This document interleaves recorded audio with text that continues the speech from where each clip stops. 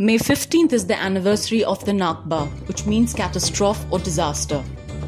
The day marks the forced exodus of hundreds of thousands of Palestinians from their homes during the formation of Israel in 1948.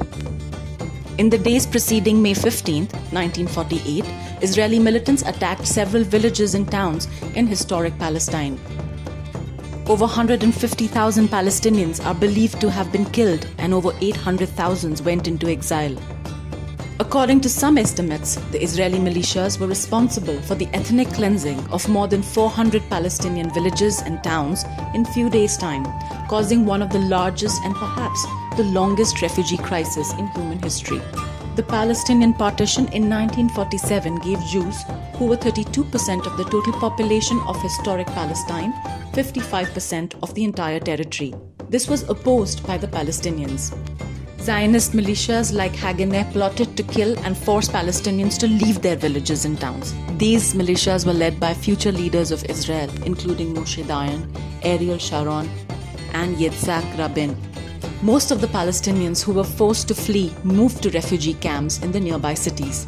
However, Israeli militia groups used the war declared by the neighboring Arab countries in 1948 to force the refugees out of the camps. Most of the Palestinian refugees eventually ended up in East Jerusalem or Gaza, which were controlled by Jordan and Egypt at the time of the war. A large number were forced to move to the neighboring Lebanon in the north. The third wave of killing and displacement took place in 1967 when these refugees were forced to go to Jordan and other parts of the Arab world. Today, more than 5 million Palestinians are forced to live in complete misery in various refugee camps across the Middle East. Meanwhile, Israel continues to displace more Palestinians from their existing villages and towns in the occupied territories of West Bank and East Jerusalem.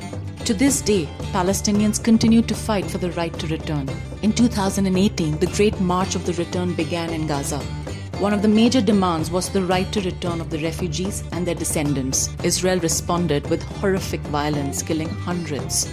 Nonetheless, Palestinians marched to the border fence week after week, demanding justice for those displaced by the Nakba. This year, despite the COVID 19 quarantine, Palestinians across the world will mark the Nakba.